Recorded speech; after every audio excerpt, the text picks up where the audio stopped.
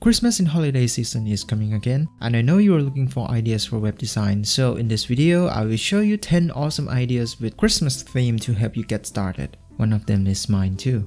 Ready? Let's check it out.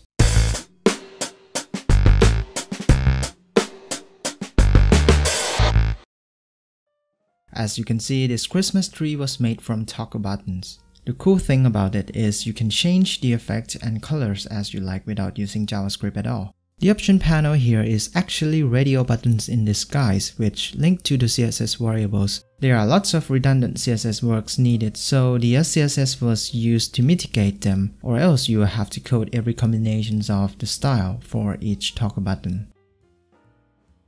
This is the snow effect I made a while ago but still might be a good start if you want to have a snow background on your website. It was made with pure CSS and no JavaScript at all. You can find the link to the tutorial video in the description box below.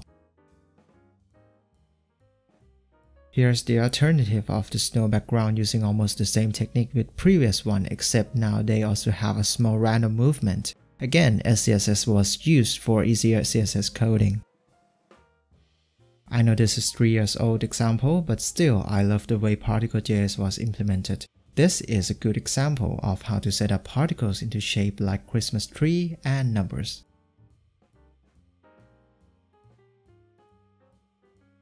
I really like the design and color tone of this loader.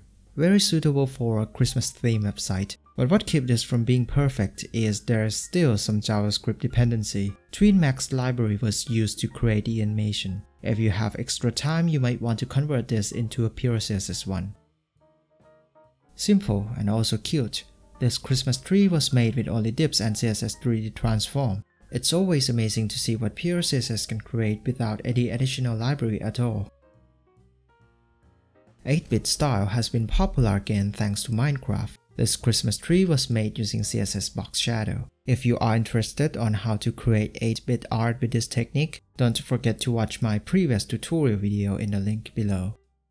If you are looking for a button to suit your Christmas theme design, here is one for you. A good example to show you that a right font and a right background can totally change the mood of the design. Looking for loading animation ideas? I think you will like this. The morphing image is a combination of SVG and TweenMax JavaScript library. Looking at the code might seem difficult at first, but this is a great example to learn how to create a complex SVG animation.